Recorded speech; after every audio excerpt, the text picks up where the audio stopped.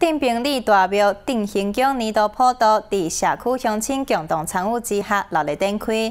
来自长沙继父王爷数百年以来，不但护佑定平乡亲，连电风企业嘛感受到欣慰，生意兴隆。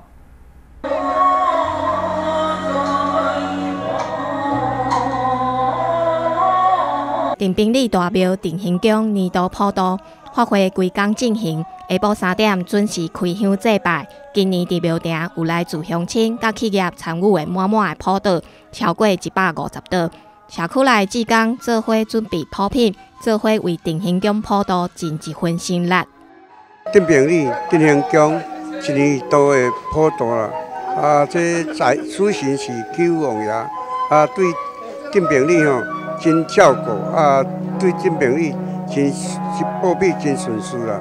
啊，即回都小甲小弟我做主任委员陈启全啊，在在这里要来祝各位定平里诶，向个里面谢多谢。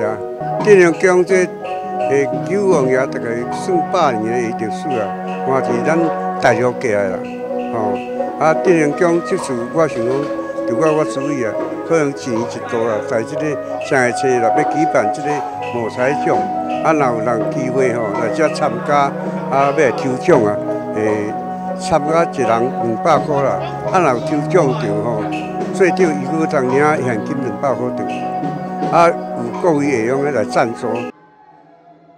陈启全表示，继父王爷自东山来台数百年，不但好友定兵乡亲，连里内企业嘛明显感受到欣慰。各类企业生意兴旺，明显感受到欣慰显赫。新中华新闻江大锦何美采访报道。